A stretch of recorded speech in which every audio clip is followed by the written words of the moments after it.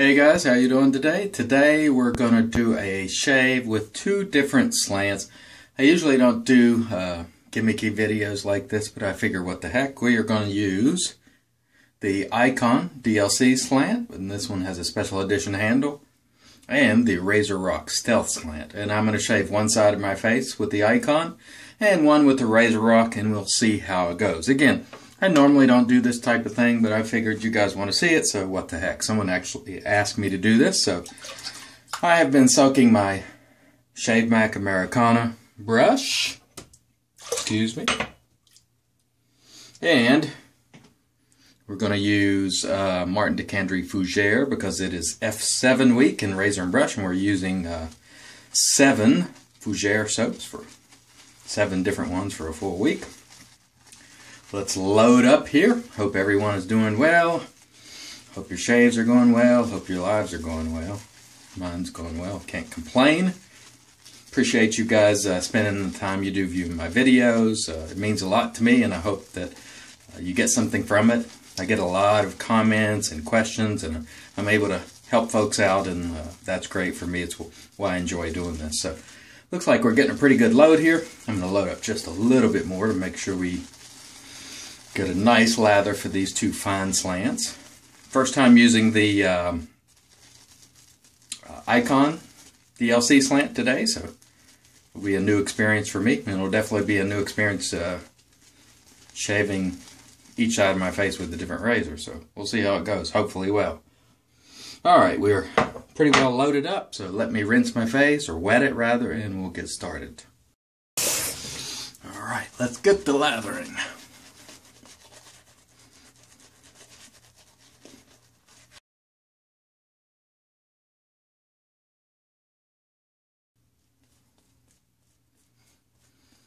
All right. We're expediting, as always, for the sake of the video, and let's start out with the iKon DLC on the right side of my face.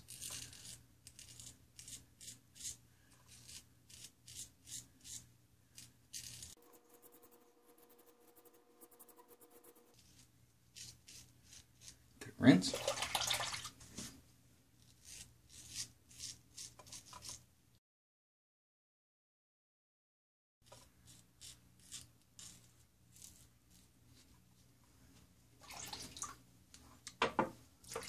All right, the iKon side felt pretty good. Uh, angle wasn't hard to find. It's a very heavy razor compared to this one, which is very light. Totally different feel with this guy.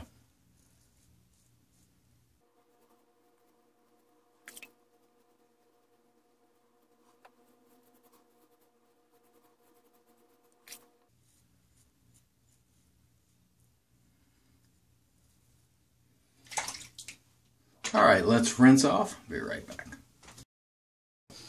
Let's lather up for pass number two. The first pass there was uh, quite nice on both sides. There's a big difference in weight between the two. The angle is uh, obviously different uh, as well. I felt like I was getting more efficiency from the iKon, but that could be due to the weight and the angle, but we'll see how it goes during pass two. All right, looks like we're good enough. Let's go for pass number two. Cross the grain.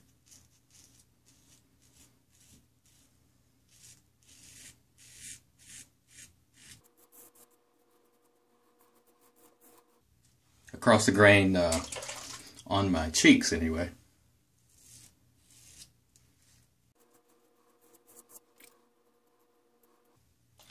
Alright, so there's pass number two on the iKon side. Let's go with the stealth.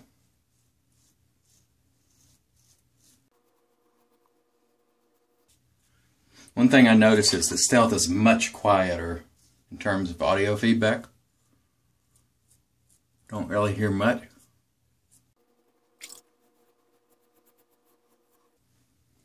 All right, let's rinse and then get pass number three underway.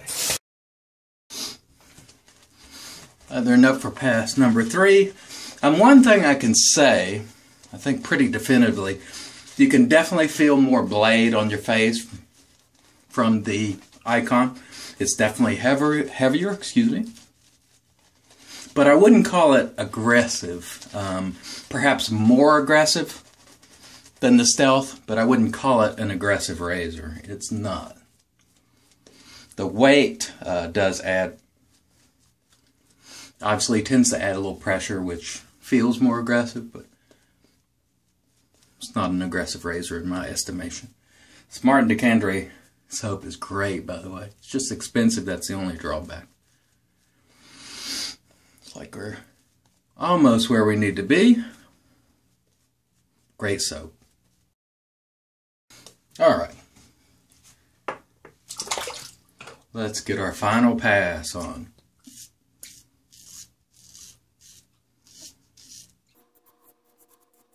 Feels very nice, this iKon.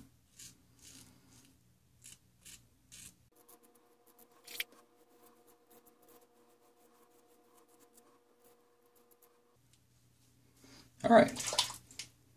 So we finished with the iKon. Let's go with the stealth.